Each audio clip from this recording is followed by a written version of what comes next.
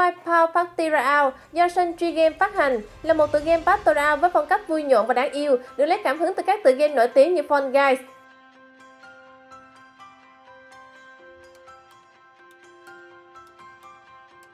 tạo hình nhân vật chibi đầy sắc màu và âm nhạc sôi động như thể người chơi đang được đứng trong một sân vận động với hàng ngàn vận động viên đang chờ đến lượt thi đấu. Gameplay của Wipeout Party Royale cũng khá quen thuộc với các nút điều khiển ở bên trái màn hình, còn phải là các nút chức năng như chụp bóng cũng như ném đối thủ.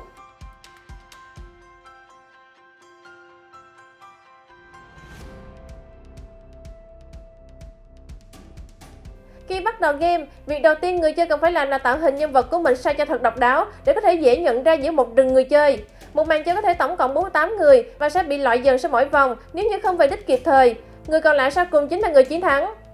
Khi kết thúc trận đấu, tùy theo thời gian bạn đến đích thì bạn sẽ nhận về được tiền xu và còn có khi là hòm kho báo nếu hoàn thành nhiệm vụ nào đó. Với lối chơi đơn giản và vui nhộn thì Wipeout Party Royale là một lựa chọn cho bạn và hội anh em cùng tụ tập để giải trí cuối tuần.